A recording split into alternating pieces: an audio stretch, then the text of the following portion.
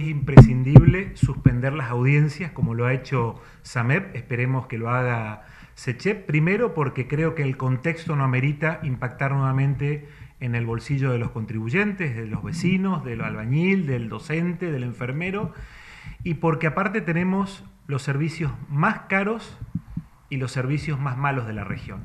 En ese contexto creo que son empresas que tienen que ser autosustentables, empresas que tienen que administrar bien y de un tiempo a esta parte se advierte una empresa donde no está bien administrada, donde se genera deuda, donde la prestación del servicio no es óptima y fíjense que nosotros podemos dar pruebas y muestras de que en los tres primeros meses del año, solamente en los tres primeros meses del año, todos los chaqueños a través de un decreto de la provincia, es decir, el gobernador le tuvo que prestar a SAMEP más de 350 millones de pesos para pagar deuda. Pregunto, ¿qué pasó en la empresa?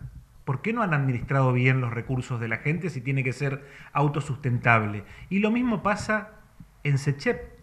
A los 400.000 usuarios que tiene la empresa, compra la energía mayorista a 2 pesos y la vende a 3,60, es decir, casi el 100% de ganancia.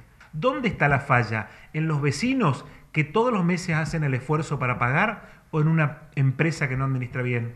Ese esfuerzo que está haciendo el comerciante, ese esfuerzo que está haciendo una familia para salir adelante en este contexto, un nuevo aumento me parece que no amerita. Nosotros vamos a ir a la audiencia, nosotros nos vamos a presentar fundamentalmente porque tenemos que defender a los usuarios. Los chaqueños han hecho un esfuerzo increíble de sostener durante mucho tiempo esta empresa. No es de ahora que está mal, hace más de 10 años que viene mal administrada.